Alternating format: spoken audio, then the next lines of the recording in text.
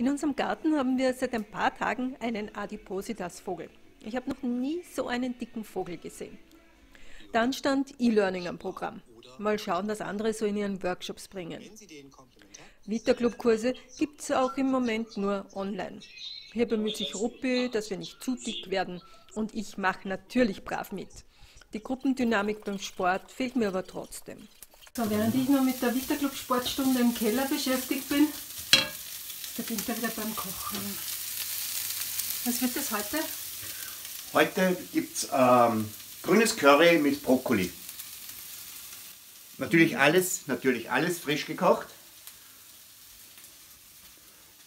Und nachher darf ich wieder eine Runde online tarockieren mit meinen Freunden. Ah, okay. Und ist heute irgendein Fleisch dabei oder was gibt's da?